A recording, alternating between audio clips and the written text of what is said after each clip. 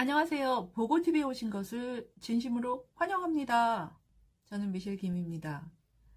50대를 지나는 입장에서 제가 은퇴를 하면 어, Social Security를 얼마나 받을 수 있는지 Social Security 금액이 얼마인지 궁금해지더라고요. 그래서 언제 retire를 해야 하는지 또 Social Security 금액이 저한테 얼마나 될 건지 또 여러분한테는 얼마나 될 건지 과연 Social Security가 남아 있어서 저희가 탈 수 있는지 또 저희 아이들한테도 줄 수 있는 그런 돈인지 정말 궁금해서 한번 파헤쳐 보겠습니다. 자, Let's go! 자, 그렇다면 누가 Social Security 연금을 받을 수 있을까요? 제일 중요한 첫 번째는 영주권자나 시민권자로서 미국에서 최소한 10년 세금 보고 해서 Social Security 세금을 낸 사람이 62세 때부터 받을 수 있는 미국 사회보장 국민연금입니다. 그 외에 불구가 된 사람, 혜택을 받고 있는 사람의 배우자 또는 자녀, 사회보장을 받거나 받을 자격이 있는 이혼한 배우자가 받을 수 있고요. 사망한 근로자의 배우자 또는 자녀, 죽은 노동자의 이혼한 배우자가 받을 수 있고, 사망한 근로자의 부양 부모가 받을 수 있는 게 Social Security Benefit입니다. Social Security 은퇴연금은 점수제입니다. 사회보장 점수는 어떻게 만들 수 있을까요? 2019년도 세금 보고를 예를 들어 보겠습니다. 적게 버는 사람이나 많게 버는 사람이나 1년치 세금 보고 할 때 보통은 4점을 받습니다. 4 credit. 적어도 5,440불을 버셔야 1년에 4점이 생깁니다. 그렇다면 10년 세금 보고를 하면 40 quarters, 즉 40점이 생기는 겁니다. 최저 5,440불을 벌고 10년 동안 일을 했다면 54,400불이죠. 그거를 갖고 은퇴할 수 있을까요? 실제로 제 지인께서 지난 5년 동안 5,500불을 언 인컴으로 세금 보고를 하셨어요. 그분이 과연 얼마를 받으실까요? 여러분 더 지켜봐 주십시오. 후반부에 제가 공개해 드리겠습니다. 참고로 오바마 케어를 들기 위한 미니멈 1인 가정 기준 2019년도에는 12,140불이었어요. 2020년도에는 적어도 12,490불을 버셔야 오바마 케어를 들 수가 있습니다. 미국에서 우린 언제까지 일을 해야 소셜 연금 혜택을 받을 수 있을까요? 앞전에서 말씀드린 10년 일해야 합니다. 자, 적어도 10년. 많은 사람들이 추천합니다. 35년을 일을 해라. 왜냐하면 첫 번째, Social Security Administration에서 저희 은퇴연금을 계산하는 방법은 개인들이 하는 거랑 틀립니다. Average earned income 35년간의 개개인의 월 기록을 합산하고 또 뺄 거 빼고 하기 때문에 그들이 계산하는 방법이 저희와 계산하는 방법보다 틀리고요. 지난 5년간 플러스 10년 동안 일을 했다면 가끔씩 Social Security Administration 오피스로 찾아가서 그들이 가지고 있는 나의 개인 정보와 match가 되는지 한 번씩 periodically 체크해 보실 필요가 있습니다. 세 번째, 아래 보이시는 웹사이트를 참고하세요. 지난 당신의 work history를 가볍게 여기지 마세요. 최대한 35년간 일을 해서 성실하게 세금 보고를 하면 Social 연금 혜택이 더 많아집니다. 사회은퇴연금 과연 언제부터 수령을 할 수 있을까요? 아 옛날이요. 전에는 65세 때 Social Security 연금과 Medicare를 같이 받았다고 합니다. 현재는 100% 은퇴연금을 받을 수 있는 나이 66세가 full retirement age입니다. 1943년생에서 1954년생은 66세 때 100%를 타고요.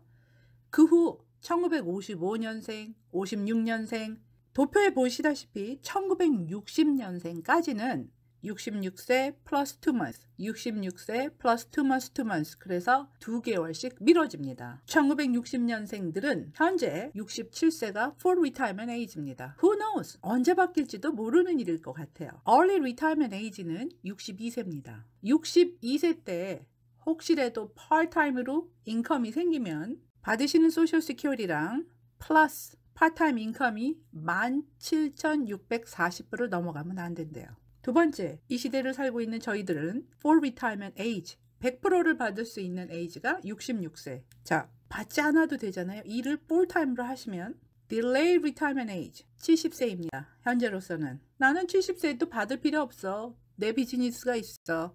안 돼요. 70세에 받는 delay retirement age입니다. 자, 세 종류예요. 일을 해서 받으시는 분들은 62세 early retirement, 66세 full retirement, 그리고 미뤄서 70세입니다. 한국 속담에는 이런 말이 있습니다. 매도 먼저 맞는 놈이 낫다. 죄송합니다. 욕인가요? 62세 조기 은퇴. 손해나는 느낌이에요. 66세 full age retirement. 자, 만기 은퇴라고 하죠. 그리고 70세 은퇴.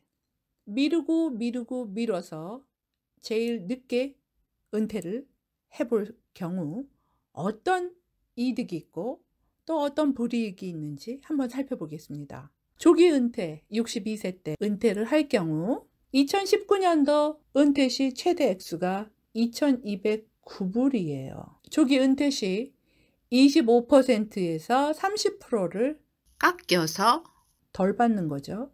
내가 2209불을 받을 때 내 배우자는 그의 반인 35%를 받습니다. 계산을 해보니 1104불 50전을 내 배우자가 받을 수 있는 거예요. 66세 full age retirement 때는 100% 받아요. 2861불이 됩니다. 나의 배우자가 50%을 받으니 1430불 50전이 됩니다. Social Security를 제일 늦게 받을 수 있는 나이인 70세에 은퇴를 하면 2861불 이 돈이 3770불까지 늘어납니다. 왜냐 하면 Social Security Administration에서 매년 8%의 이자, 복리 이자를 준다고 하니까요. 자, 그래서 내가 받는 돈이 늘어나기 때문에 나의 배우자는 그의 50%이니까 1885불을 받습니다. 우리가 일하고 받는 급여에서 과연 얼마만큼의 Social Security 세금을 내야 할까요? 예를 들어 드리겠습니다. 회사를 다니시는 미스터 존 월크를 만나보실까요? 2018년도에 연봉이 5만 불이었습니다. 그의 회사에서는 6.2%로 Social Security 세금을 빼고 Medicare Tax를 1.45%를 빼고 줍니다. 중요한 것, 그의 회사에서도 같은 amount Social Security Tax 6.2%, 또 Medicare Tax 1.45%를 매칭 펀드로 내야 합니다. 자영업자, 회사를 갖고 있는 오너들은 Social Security Tax 모든 amount인 매해 12.4%와 Medicare Tax 2.9%를 전부 다 부담해서 정부에다 내야 합니다.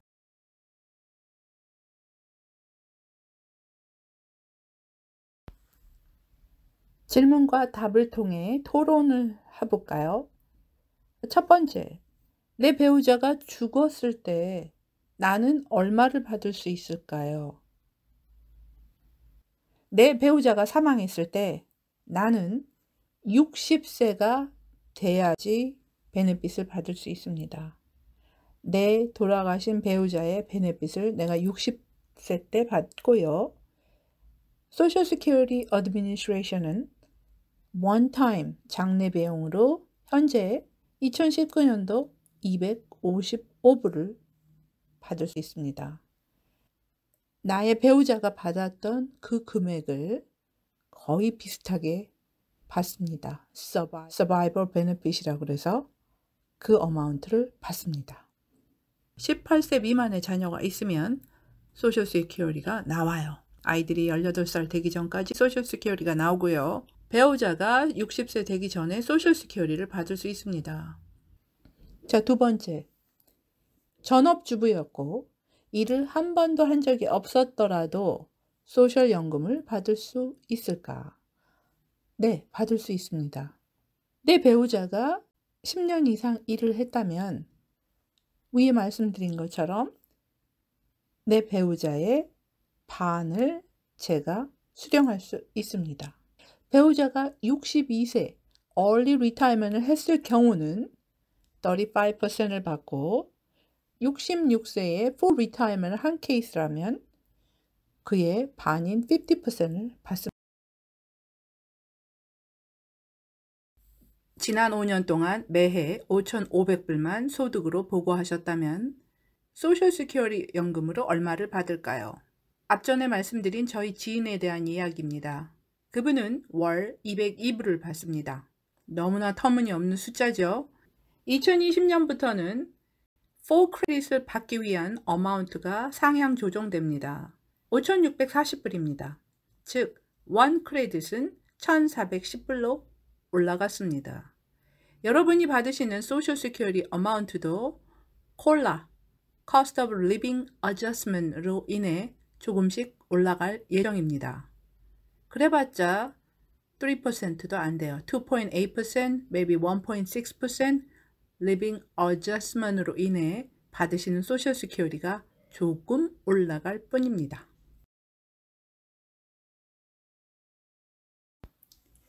우리가 은퇴를 할 때쯤 과연 Social Security 연금이 남아 있어서 내가 Social Security를 받을 수 있을까요?